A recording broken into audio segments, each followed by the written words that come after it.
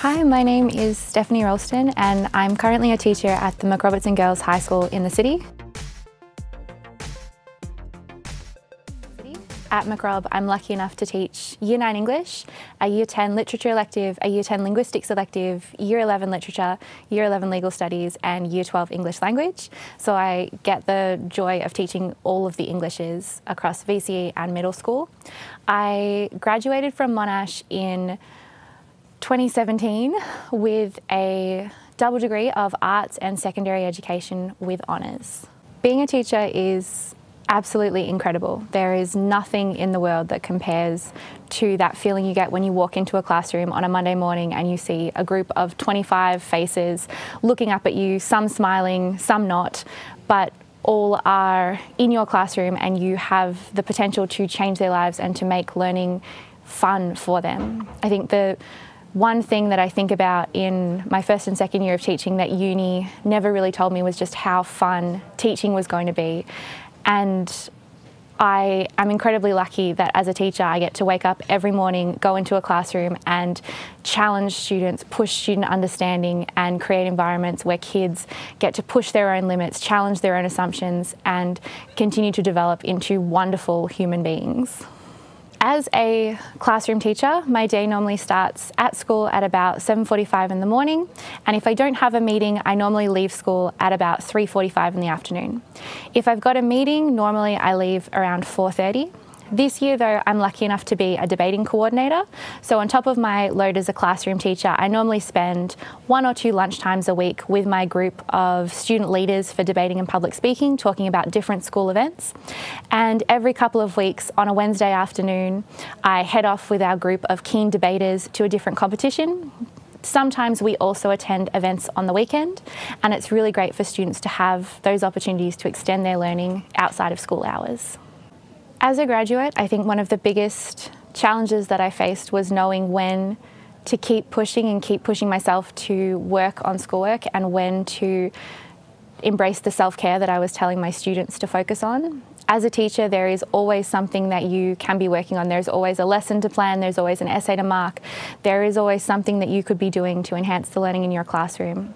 And a big thing I've found for myself as a graduate, but also the other grads that I talk about, is that we are often very quick to burn out. And it's so important as a teacher, but especially as a graduate, to make sure that you are setting clear boundaries about when you will and when you won't work on schoolwork at home, so that when you are in the classroom, you are the most refreshed, energized, excited version of yourself, and that you do have those spaces at home to relax and de stress. I think that my most rewarding moment as a teacher so far happened in my Year 11 literature class last year. We were studying a unit on post-colonialism and racism in Australia and my class of very multicultural, very diverse students did some really excellent work analysing colonial narratives in lots of different texts set in Australia but also set in lots of different countries. The final assessment task for that unit was a personal reflective essay. And when I spoke to the students after they'd written the essay, they said that it, they felt like it was one of the first times their education had recognised their lived experience. And it's so important for students to have those moments. It was so important for my students to feel like there was a moment where I saw them as more than just a student, but as a human being who has these incredible stories to tell and things to share about the things that have happened in their lives and the things that, as a young adult and a young leader, they're going to change into the future.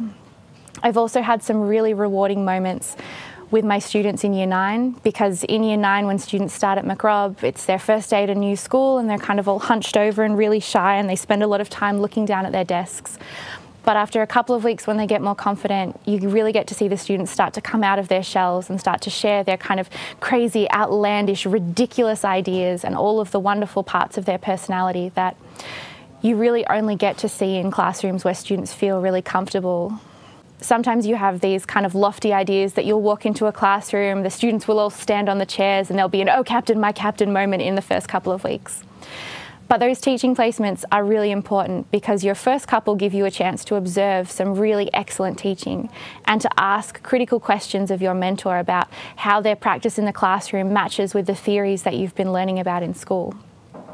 With the second lot of placements where you actually get to teach, I wish that I had known exactly how much I was going to fall in love with teaching and how sad it would make me to leave my students at the end of the six week and the 10 week blocks because I didn't expect to become as emotionally invested in the students that I was working with and the classes that I was working with as I did.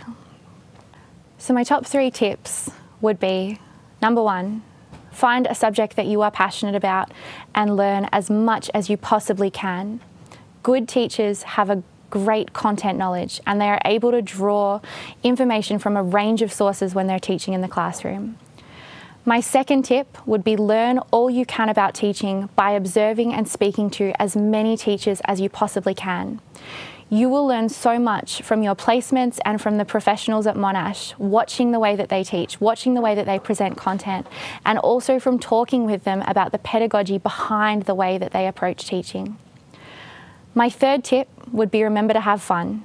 Teaching can be an incredibly rewarding profession, but it can also be an extremely challenging one. It's important to remember that when you're on placement, but also when you're out as real teachers. Make sure that you value yourself and that you follow the advice that you give your students. Do teaching, just do it.